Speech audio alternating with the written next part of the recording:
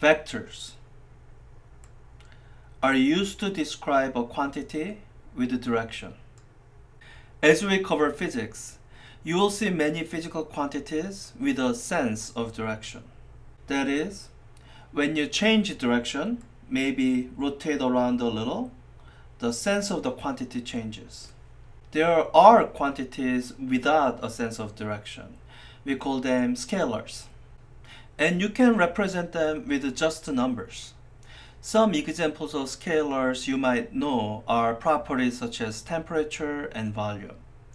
But soon, you will see vector quantities.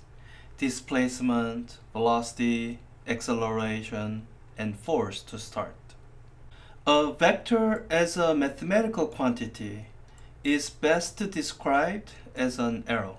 With this arrow, I can change its length, I can change its direction, or I can change both. Note how to describe this vector in two dimensions, I need two numbers. These two numbers can be its length, 33.8, and its direction, 34.2 degrees from the horizontal. And this is very intuitive in our description of vectors as geometric quantities. But we will soon find that this way of describing vectors can be very limiting. And we are going to want to describe vectors by its components. Sometimes we say we are breaking vector into its component. When we describe a vector by its two independent components.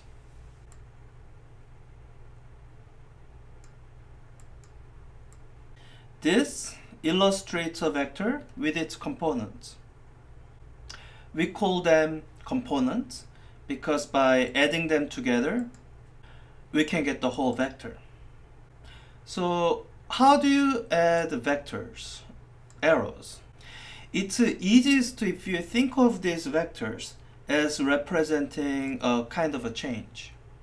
So imagine this first vector as representing a change taking you from some starting place to this place. And let's say you have a second vector, which represents a different kind of change that takes you from one place to another place.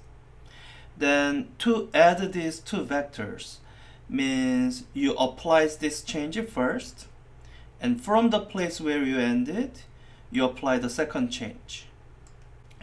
Sometimes this is called a head to tail method because of what it looks like. You are putting head of the arrow to tail of the next arrow. And the overall effect of these two one after another changes is that you have a total change that takes you all the way from the initial starting place to the final ending place. So this vector is the sum of these two vectors here. And this vector has been represented in a special way. The two vectors that add up to this whole vector, they are in two perpendicular directions.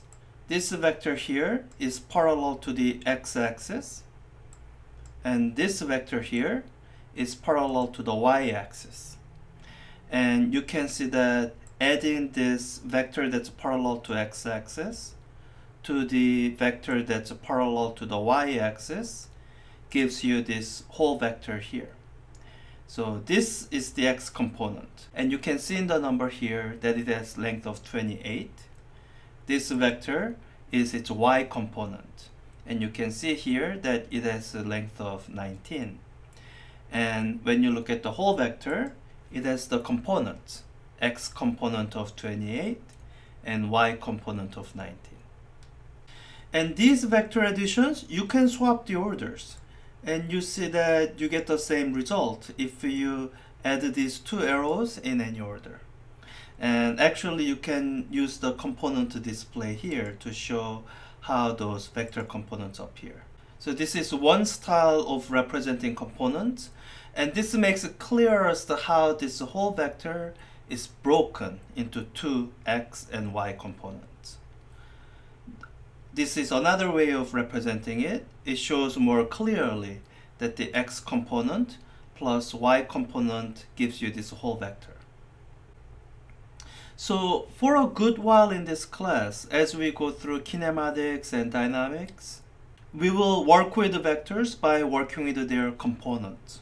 And as you look at this right triangle, I'm hoping you will be reminded of your trigonometry, how to represent this hypotenuse in terms of the length of the legs, and how to get this angle here if you know some of the sides of this right triangle.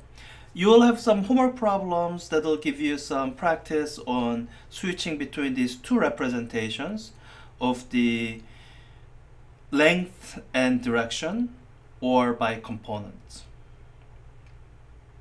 Until next time, bye.